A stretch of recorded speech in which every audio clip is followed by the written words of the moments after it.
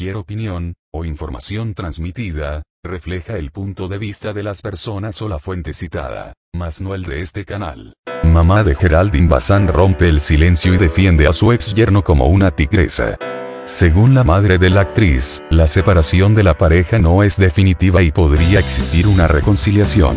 Contrario a su hija, Geraldine Bazán, la señora Rosalba Ortiz Cabrera, se aventó una larga entrevista con diferentes medios de comunicación durante un evento en Ciudad de México, en donde dijo que su hijita hizo de todo por salvar su relación.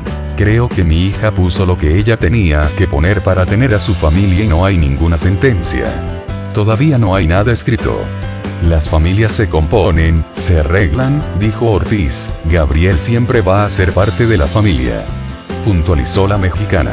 Tanto sigue queriendo a Gabrielito en su familia que cuando le preguntaron sobre los supuestos hijos que Gabriel Soto tuvo fuera de su vínculo matrimonial Ortiz alzó la garra. Ahora cada vez que vean a un güerito o una güerita de ojos azules van a decir que es de mi yerno. Dijo.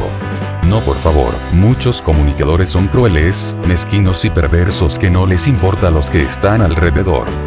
La libertad de expresión vale mientras no perjudiques a terceros. Señaló Rosalba Cabrera visiblemente molesta por las acusaciones hacia la expareja de su hija. Pero hablar muy bien de su ex yerno no le fue suficiente, incluso llegó a justificar las acciones de Gabriel Soto.